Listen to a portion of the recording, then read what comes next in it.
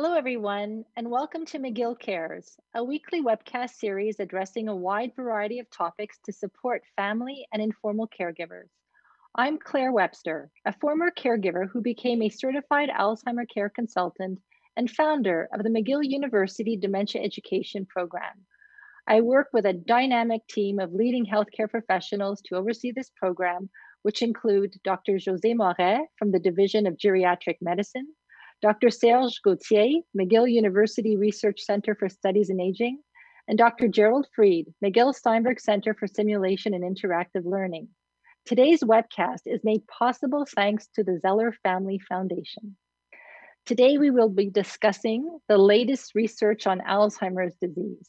And it gives me the great pleasure to introduce my colleague, Dr. Serge Gauthier. He's the director of the Alzheimer's Disease and Related Disorders Research Unit of the McGill University Center for Studies in Aging. He is also a professor in the Department of Neurology and Neurosurgery, Psychiatry, and Medicine at the Faculty of Medicine and Health Sciences. Dr. Gauthier will provide an update on the latest and most promising research on the detection and treatment of Alzheimer's disease. Welcome to the show. Merci, Claire. Good to see you again. I'm so happy to have you here, and I have the privilege to count you as one of my colleagues in our wonderful program. Um, so I think to begin, uh, I really want to acknowledge the current pandemic. And, you know, based on a CBC News report of about a week ago, it stated that the majority of deaths in long term care centers were of those seniors who had dementia. Can you explain why? Well, there's probably multiple reasons. Uh, the most obvious is that, mm, unfortunately, many people in living in long-term care have dementia, whether it's diagnosed or not by the family doctor. And um, some of them, uh, it's an unusual perspective, but it was in their advanced directives that if they have a new illness or severe condition uh, and uh, COVID pneumonia would qualify as such, they don't want to go to the hospital. So it's partly in response to their wishes that they were not transferred to intensive care. But the sad thing is many of them died without their family members around. And I guess as well, you know, when they're feeling unwell at a certain at a certain level of the disease, they're unable to let anybody know how they're feeling, right? So it's not as if they can signal a healthcare worker to say, I'm not feeling well, or so I, I, I'm assuming that many of them were hit by the disease without even having to really explain themselves or Indeed. you know ask for support Indeed. Yeah. Um, all right. So today's topic is research, and I think I'd like to begin by really understanding your role uh, in in Quebec in research. Uh, also explaining the McGill Center for Studies in Aging, what role that that plays, and apparently we have one of the largest brain banks in the world. So I can yes. take it away. well, thank you uh, for uh, giving me a chance to say a few words about the McGill Center for Studies in Aging. We just celebrated uh, last week our 35th anniversary. It's an initiative of uh, Dr. Jacqueline McClaran uh, way back 35 years ago. Before geriatrics, it was called gerontology, and it was a dream of Jacqueline to have a multidisciplinary approach to aging.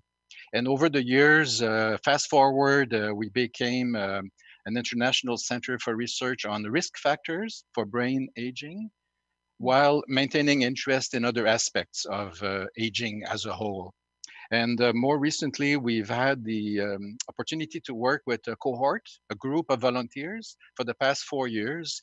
And um, this has led to some important uh, discoveries that I'll outline in the research report. But I want to emphasize the importance of uh, volunteers in research uh, healthy people who just want to contribute to aging research, people who are healthy but are worried because of family history of dementia, or people with minimal symptoms who are ready to give time and blood and spinal fluid so we understand better how the brain is aging. So and when they die, and the brain bank. Yeah. And yes, many and the of them, they know that there's a brain bank at the Douglas. Indeed, a long history it's one of the largest. Uh, it's interesting to know that culturally, French Canadians agree to give their brain, uh, it's in their will for many of them. And it's mm-hmm. very important when you participate in research on brain aging that we can look at the brain uh, after you die because we can confirm the observations made during the life of the person. So it's a tradition. We have a network to pick up the brains. It's always Friday night for some reason, but we have a way to mm-hmm. collect the brains, and uh, they're stored in a special way that they can be kept um, uh, useful for research for up to 30 years after you die. And I'll give you an example. We saw a young man in his late 20s, uh, and I had taken care of his mother who died in her late 30s of an unusual dementia.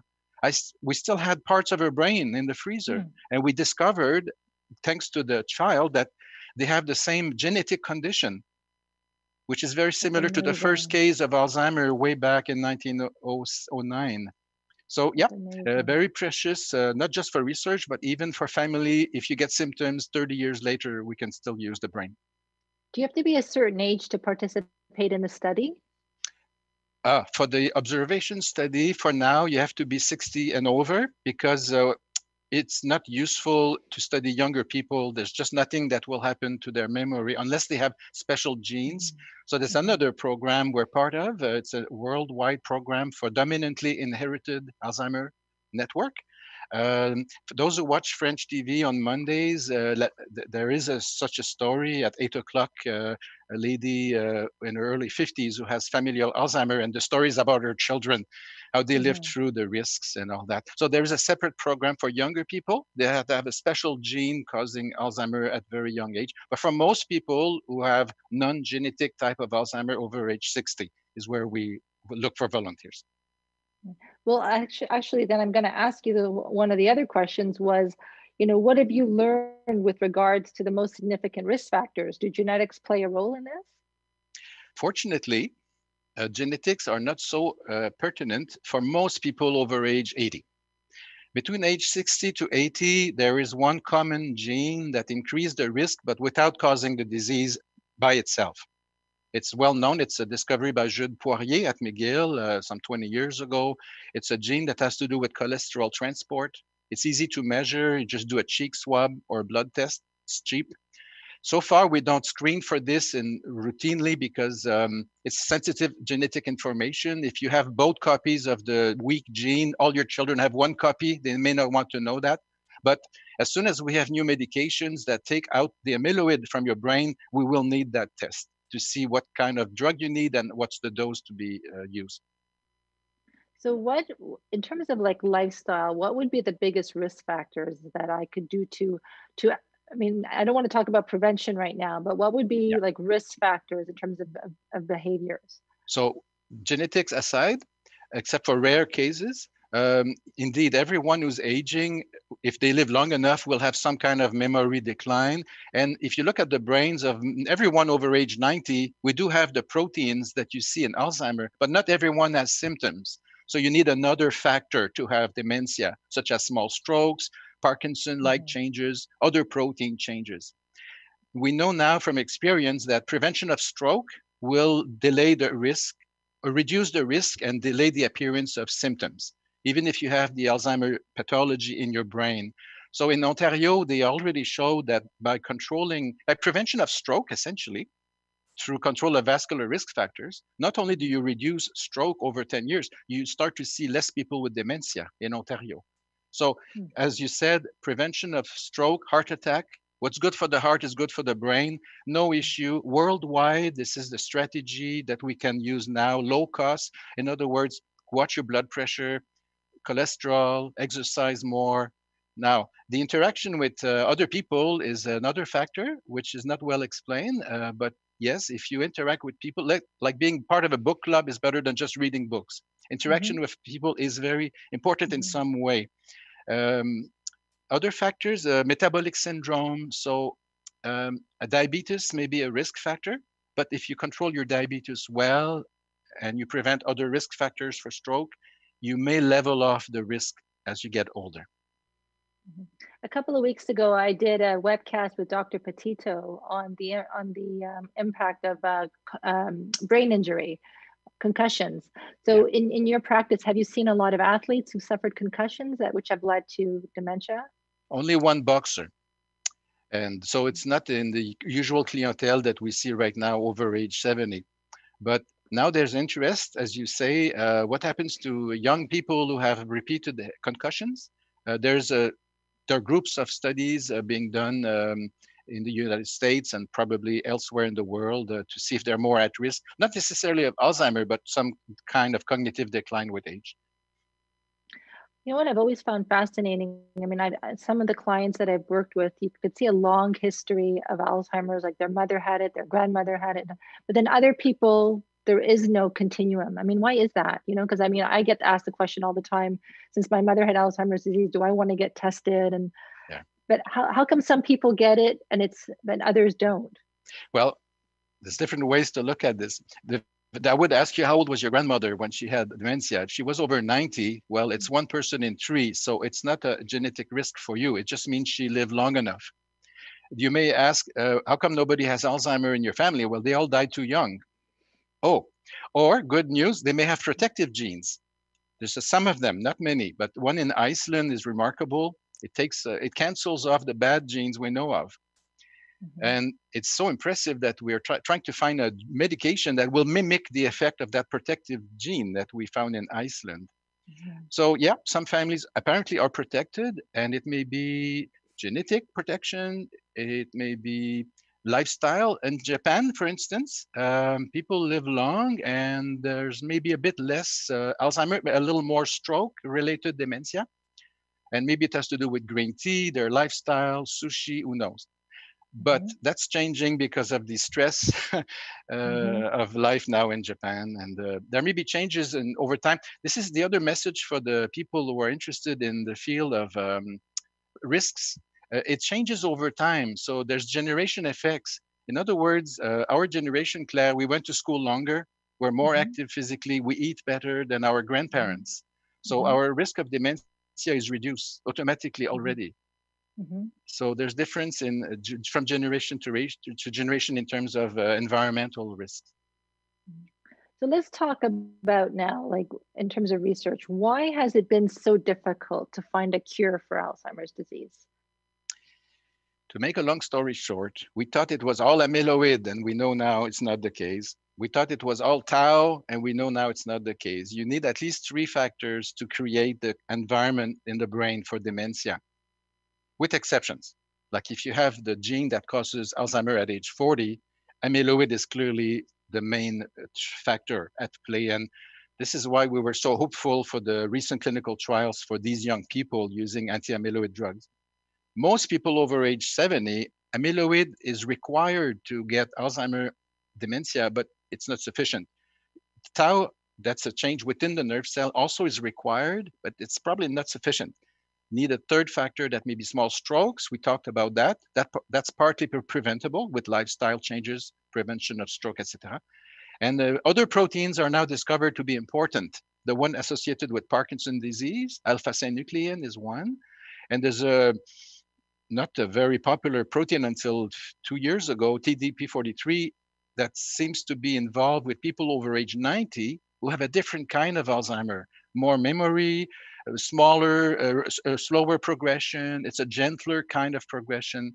So to, all this to say, um, what we call Alzheimer's disease may be very different in a 40 year old, a 65 year old with ApoE4, 4 in the family, an 80 year old, and a 95 year old. And not one treatment will work for all these people at different ages. Mm-hmm.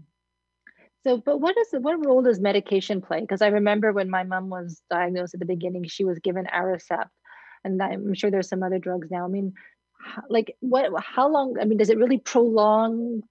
I mean, not prolong, but does it is it does it really like stop the disease from advancing for a certain amount of time? Like, what role does the medication play? Okay, so these medications are symptomatic. It's like L-Dopa for mm-hmm. Parkinson. So donepezil or Aricept is one of three available for more than 10 years. They increase acetylcholine in your brain. And actually they work better in other dementias such as Lewy body, Parkinson type of dementia, because they have even less acetylcholine in their brain than people with Alzheimer disease. Um, so about half of the people who takes these medications early in the course of disease have some improvement of their awareness of uh, things, uh, interest in doing things, memory a little bit. they may be stabilized for a year in terms of uh, progression, and then there's a decline parallel to what if they had never taken the drug. There's debate in some countries whether it's worth paying for these drugs, but they're relatively cheap. It's in the order of $30 a month. And um, they do uh, keep people at home longer, that's been established, but they don't make you live longer. Um, there's another kind of medicine called memantine, discovered in Austria, now made in Montreal, which is used in hmm. the more moderate to severe stage of dementia, mostly for agitation and losing your speech. And it's been shown to delay progression uh, in terms of um, losing what your remaining abilities to take care of yourself. So memantine is used in our milieu uh, in moderate to severe stages of dementia. This is all we have for now. But we also have mm-hmm. antidepressants, antipsychotics mm-hmm. if needed. I think the breakthrough in care has not been the drugs for the past 10 years. It's what we tell the families, um, the support we give from the community. Mm-hmm. Um, and there's still more to do. We can talk about that if you wish, but we mm-hmm. can improve the care even if we don't have a good drug, a new good new drug in the next two years. Mm-hmm. So apparently this morning you had a very exciting meeting um, with the World Dementia Council. Yes. Can you tell us about Talk that? Talk about timing. Yes. It's like you knew. So like the world the World Dementia Council was created about five years ago uh, in England. Uh, and it just happens today was uh, the first virtual meeting of the uh, what they call it uh, the research workshop and uh, we made um, sort of an overview of the field and good news the blood markers in the, the, the plasma part of the blood we discovered that here in Montreal at the same time as hmm. the Swedes, and we use their same technology. So we all agree, I think, pretty much around the world that there's a way to confirm you have Alzheimer's disease with a blood test. You don't need a spinal mm. tap or a scan of the hmm. brain. But this is for people with mm. symptoms. The debate that will come is should you know before you get symptoms if there's no specific treatment yet to offer? -hmm. So that's -hmm. the separate issue.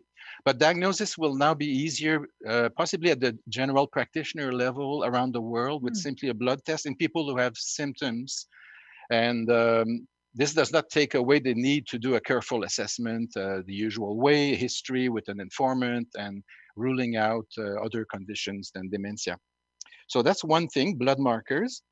Uh, the other thing that's coming up uh, next year that was not discussed this morning, but I know it's coming next year is results uh, partly from Montreal, but partly from London as well. Uh, inflammation in the brain. We, hmm. we know, uh, thanks to Dr. McGeer in Vancouver 20 years ago, that if you have arthritis, you're less likely to get Alzheimer. How much come? less likely. And we were puzzled by that. And it's because they use anti inflammatory drugs for arthritis. Oh. That's simple. The thing is, when you give anti-inflammatory drugs like Advil, ibuprofen, simple drugs everybody knows, to people with symptoms, nothing happens. It's like maybe too late. Or if you give it to people at risk, uh, minimal symptoms, we couldn't show an effect.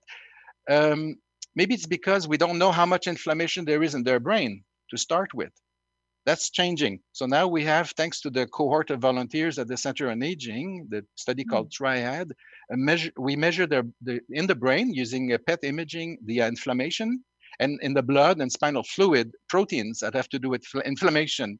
So we hope mm. to be able next year to say whether at any stage of Alzheimer you have inflammation right now, you should try an anti-inflammatory medicine what about starting anti-inflammatory medicine before like like what if i took instead of taking an apple a day i took an advil yeah. a day i mean would that the thing help? is the thing is uh, there's a risk of a gi uh, bleed oh. and uh, for the people who have low risk or no inflammation ongoing at that time the risk of treatment related bleeding is probably more than the protection you would get out of it mm-hmm. So that's one thing. Uh, other things that are new of interest mm-hmm. to people is uh, there's, as you perhaps know from the recent press, that there was an attempt by the Food and Drug Administration to look at uh, results from a drug that's given intravenously once a month to take out the amyloid from your brain in people who have late onset non-familial Alzheimer. And the results were minimal. If there is an effect, it is small. So the good news is there will be other opportunities uh, so soon next year to uh, try something oral, simpler pill. It's a drug that was developed in Montreal, of all places, by uh, Neurochem.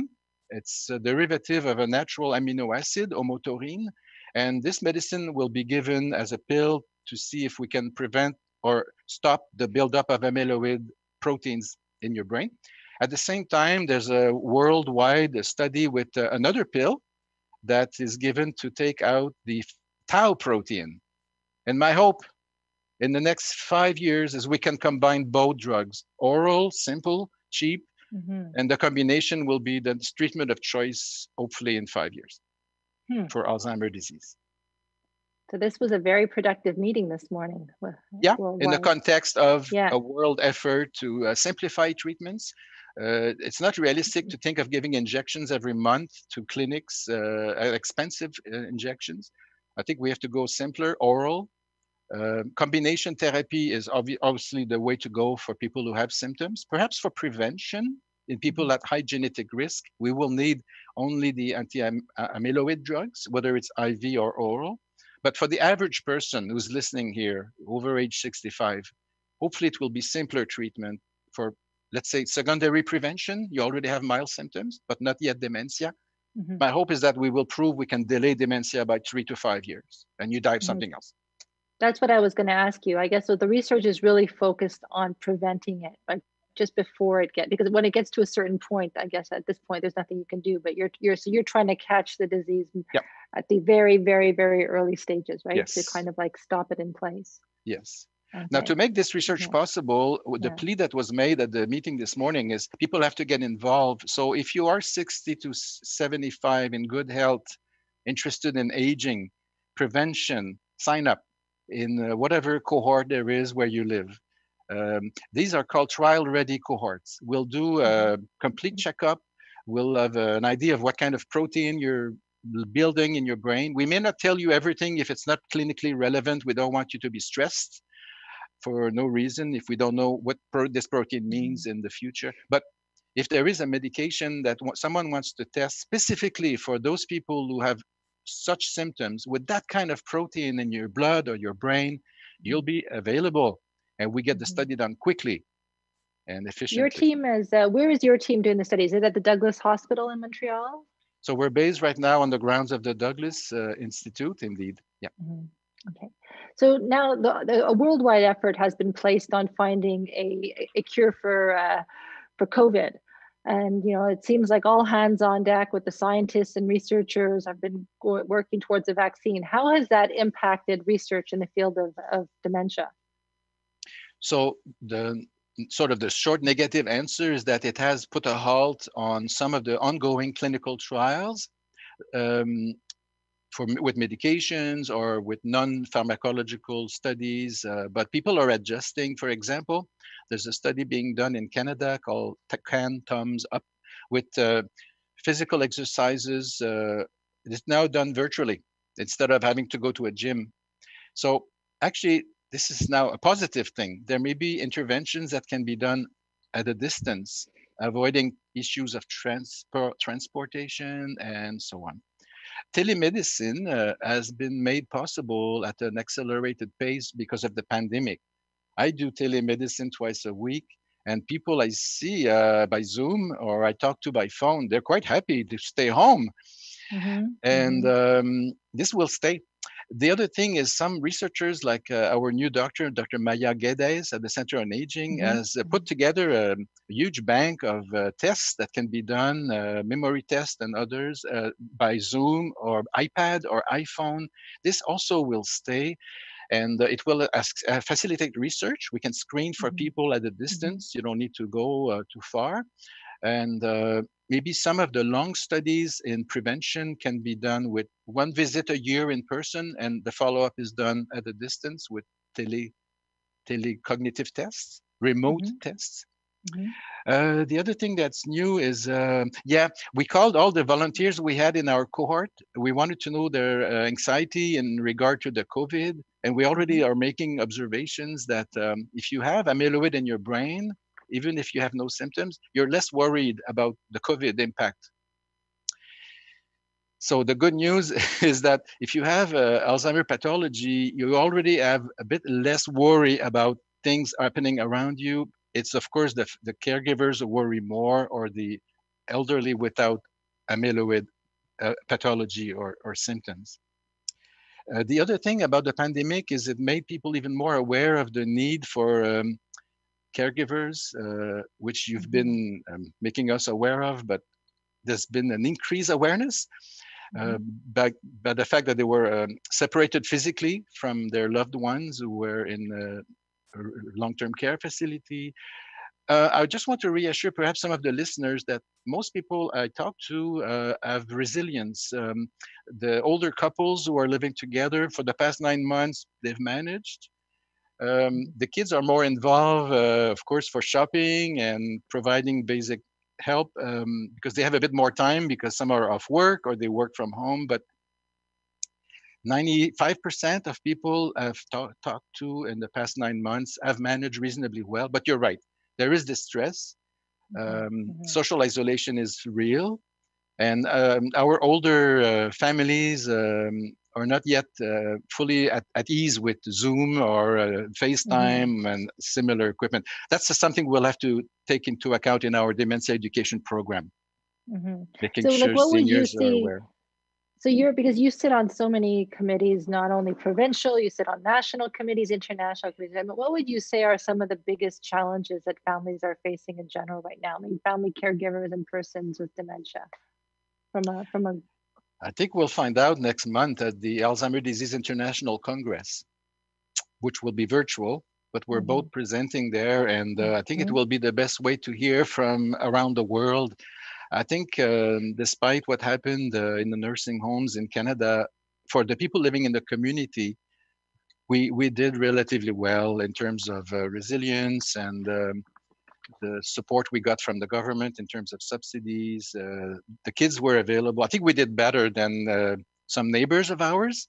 Mm-hmm. Mm-hmm. And it will be interesting to find out at Alzheimer Disease International how people did and how they fared in South uh, America, notwithstanding all the weather conditions, and uh, Asia and uh, Europe. So we may find we did actually better than many other countries, mm-hmm. despite the social isolation. So until a cure is found, let's talk about the importance of education in terms of managing this disease. And you know, I feel incredibly grateful to have you as one of the co-academic medical leads of our program, the McGill Dementia Education Program. And you know, I mean, we've known each other for a few years, and I've been advocating about the importance of education. But perhaps from a medical perspective, can you talk about education? Indeed, I always knew it was a lack. Uh, when we make a very good diagnosis of dementia, what do we tell the person with dementia if they don't ask? We always told someone, um, usually the legal representative, that we thought there was dementia and that there would be a need for a clarifying uh, power of attorney, advanced power of attorney mandate, uh, making sure the banking is done, uh, that nobody takes advantage of the person. We always talk to already the caregiver, mm-hmm. not to the person. What I predict is that the diagnosis will be made earlier and earlier to the point where we really have to talk to the person with mild mm-hmm. Alzheimer disease because they have minimal symptoms and they want to know what's coming in the next five years. Should I continue to work? Uh, then should I give away my car? Uh, there are decisions to be made by the person. So that's the first mm-hmm. shift. Education will be more and more for the very mildly diagnosed persons with Alzheimer disease, not yet dementia. Second thing is a uh, prescription for care, which you've been uh, arguing for, is not easy to do by a specialist who sees the person every six months. It has to be done by the family doctor and hopefully someday uh, a nurse, uh, what do you call it, an infirmière pivot, a nurse that is dedicated. Nurse navigator. Nurse yeah. navigator.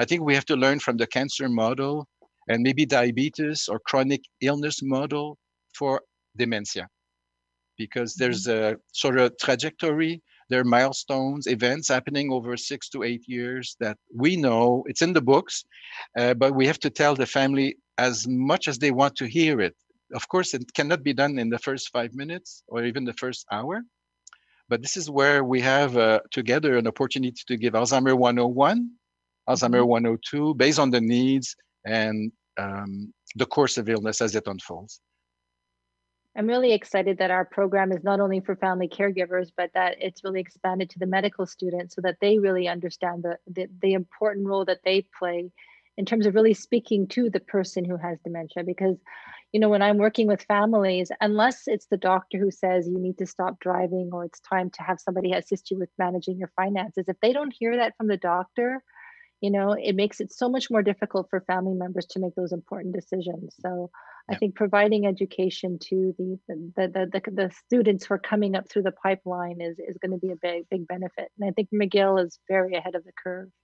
They also will have the opportunity when they graduate to have the benefit of all the new blood biomarkers which mm-hmm. will give them a firmer diagnosis um, because currently if you see someone with a history that's a bit vague and you don't have all the mm. facts we will err on the side of caution and don't talk about dementia don't talk about mm. alzheimer just talk about brain aging and so on but if we do have more objective tests uh, and some new treatments uh, that are available if you diagnose early enough that will change the, the landscape of treatment for alzheimer dramatically it's a bit like parkinson 20 years ago new drugs. I'm going to i'm going to make sure that we create a link on our website for those people watching who are interested in participating in your studies.